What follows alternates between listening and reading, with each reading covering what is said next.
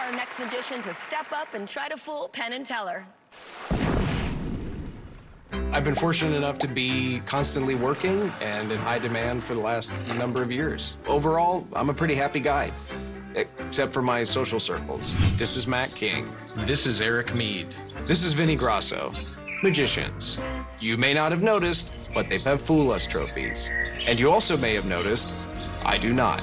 And trust me, not five minutes go by without them rubbing my nose in it. Every week, we play cutthroat croquet. Off cars, in the street, off pool toys, trees. Wait where it lies. If I don't come away with a trophy of my own, the ridicule will be ruthless and never ending. This is in no way facetious. The pressure that I'm under is unbearable.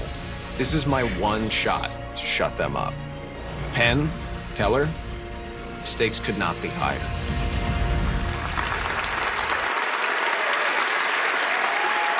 Give it up for the comedy magic of Nick Diffatte. Thank you so much. Thank you. Thank you, Brooke. Hi, nice to meet you. Nice to meet you as well. Uh, before the show, I made a prediction. Oh. Rolled it up, wrote something down, rolled it up, taped it to the mic stand. No one's touched it since before the show started. okay. The staff has been guarding it. Ooh. And we've never met before.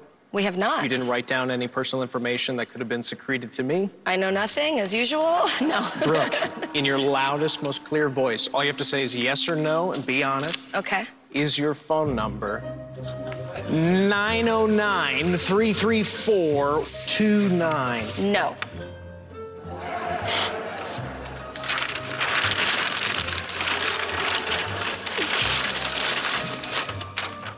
Sorry. That's because it's mine.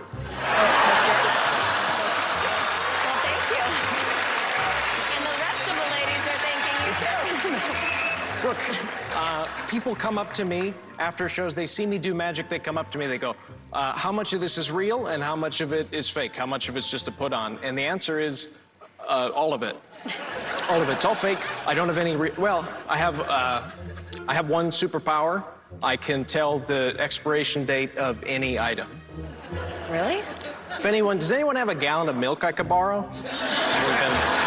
We've been sitting here for a minute. Uh, tell you what, let's use. I, I don't do pets anymore, um, but I do. I can do relationships. Like, how long have you folks worked together?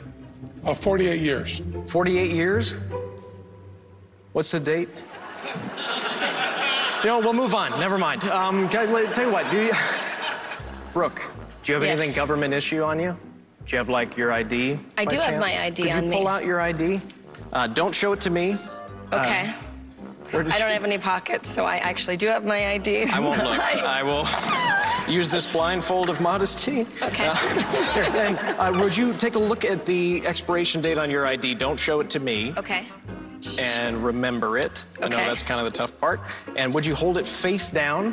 Hold it face down so I can't see it. I will Okay. take your ID. I'm going to cover it up so that neither of us can get to it. And would you hold out your right hand, kind of like a crab claw, like the, Like this? facing down? Perfect. Okay. Sorry, I know it's kind of weird.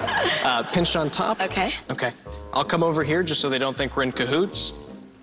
We're gonna go for the month first, okay? Okay, you're Go gonna guess the expiration date of my license. Of your license, which I've never seen before. He has not. Um, I'm gonna say January.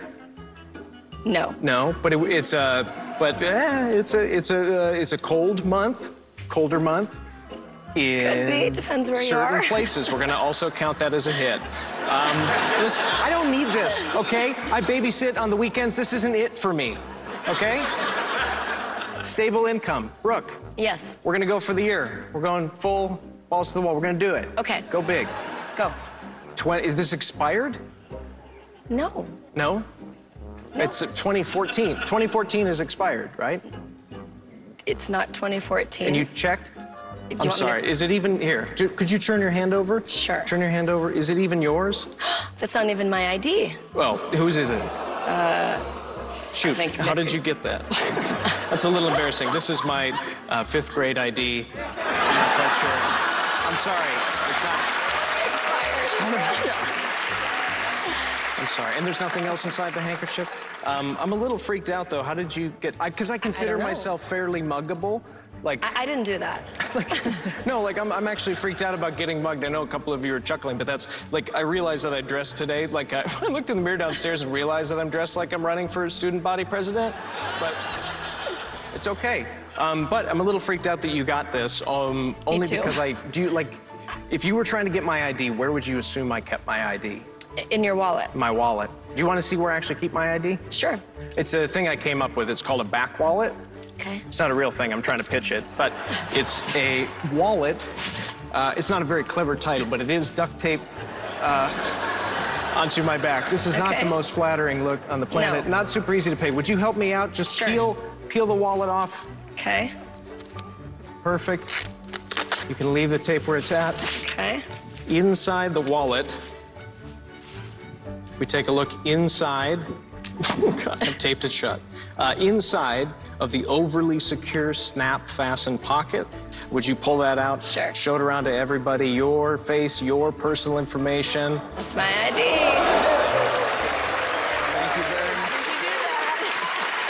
Nick Diffatte, everyone. well, all right, Nick. Let's find out if you fooled Penn and Teller. Awesome. You ready? Ready, boys?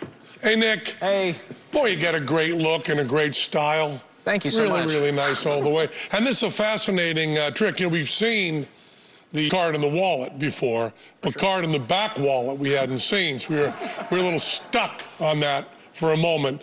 But what's interesting about this for those who study magic is how important choreography is. Everything you did looked completely natural, and more important than that, necessary. You didn't do anything you didn't have to do for the trick to be the way it was, but we believe that was very, very carefully done and very sneakily done and very well choreographed. Thank and you. know, Nick, I have my phone right here in, Yeah. my, in my in my pocket, and when you exposed what I thought was going to be Brooke's phone number, I took the um, well.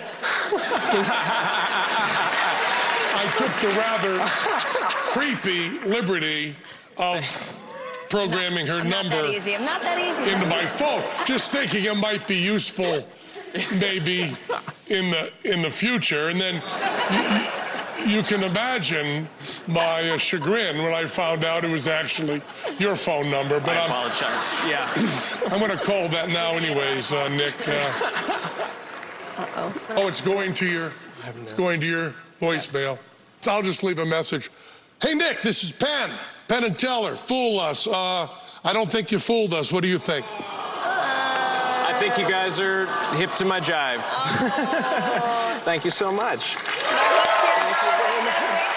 Appreciate it, sir. You.